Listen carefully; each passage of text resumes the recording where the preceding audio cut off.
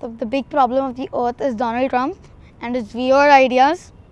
Like all the world goes to renewable resources. He wants to dig coal, declaring Jerusalem the capital of Iran. Like this is crazy. Does crazy stuff. He's a crazy guy.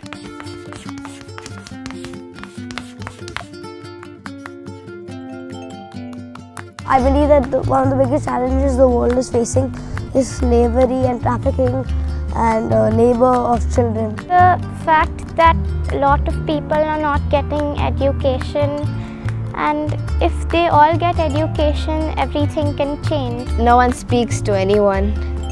Everyone's just uh, everywhere on the social media. So right now screens, many people are just addicted. The biggest issue uh, I think the world is facing is corruption. There are a lot of terrorist attacks like from ISIS and stuff like that. Global warming, Pollution. Pollution. we are polluting the environment a lot. We might not have water left for the future generations and because we've inherited this planet from our ancestors, we need to leave it healthy and clean for our children. Adults need to watch more random YouTube videos. I wish my parents understood that Netflix isn't that bad or any kind of distraction in general because it helps me focus once I'm back at my task. Adults shouldn't smoke, which is really bad. Like we were smoking, I would take a class about telling people about how not to smoke and how smoking is injurious to your health. They should read books instead of watching them instead of just watching the movies.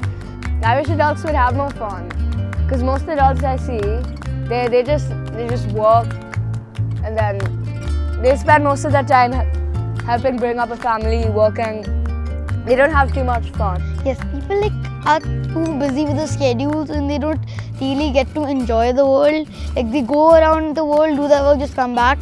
They don't see what's going around everywhere. It'd be cool if parents started playing laser tag and hide and seek. Adults should learn that um, how to how to be friendly with each and every person. Just like children, we play, we we sing, we uh, we do everything together. But adults, they are so formal. They uh, ignore many of these stuff that they should not, and uh, they should be a little more like children and be a little playful and open to all stuff.